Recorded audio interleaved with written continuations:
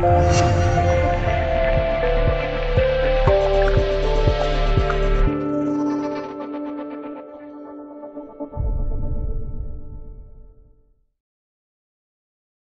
朝中社七月七日报道，朝鲜外务省发言人当天发表谈话说，历史性的首次朝美首脑会谈举行后，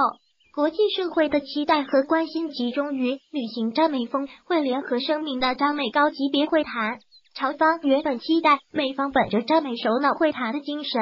带来有助于构筑信任的建设性方案，还曾考虑做些相应的行动。但美方在六月和七日举行的首次朝美高级别会谈中采取的态度和立场，令人遗憾至极。该发言人说，在此次会谈中，朝方出于要诚实履行朝美首脑会谈精神和协议事项的坚定意志，提出了均衡履行联合声明所有条款的建设性途径。朝方提出讨论朝美两方就实现多方面交流、改善朝美关系。为了朝鲜半岛建立和平机制，首先以签署朝鲜停战协定六十五周年为契机，发表中战宣言等措施。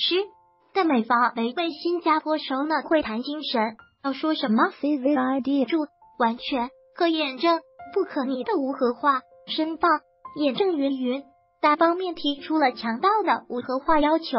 而对防止形势恶化和战争的关键问题。建立朝鲜半岛和平机制问题只字不提，反而借口采取推迟走位协商的中战宣言问题的立场。该发言人还表示，通过首次举行的朝美高级别会谈，朝美之间的信赖不但没有更加巩固，反而使本来坚定的朝鲜无核化意志处于可能动摇的危险局面。过去几个月里，朝鲜首先采取力所能及的善意措施。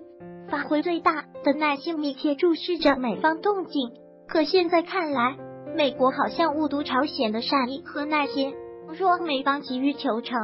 想要把前政府曾摆弄的旧方式强加于朝鲜，那它将无助于解决问题。朝鲜依然珍惜对特朗普总统的信赖，美方应对允许掀起与两位首脑的意志相反的逆流，到底是否符合世界人民的愿望和期待？符合本国的利益，慎重考虑。另据朝中社八日报道，以国务卿蓬佩奥为团长的美国代表团结束朝美高级别会谈，七日乘机离开平壤。